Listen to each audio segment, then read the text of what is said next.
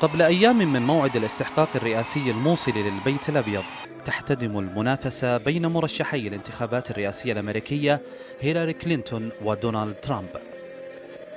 وقد أظهر آخر استطلاع للرأي تقدم المرشحة الديمقراطية هيلاري كلينتون على منافسها الجمهوري دونالد ترامب بست نقاط بين الناخبين المحتملين لتحافظ كلينتون بذلك على تقدمها رغم الجدل الذي أثارته قضية الرسائل الإلكترونية الخاصة بها والتي يعمل مكتب التحقيقات الفيدرالي على تفحصها.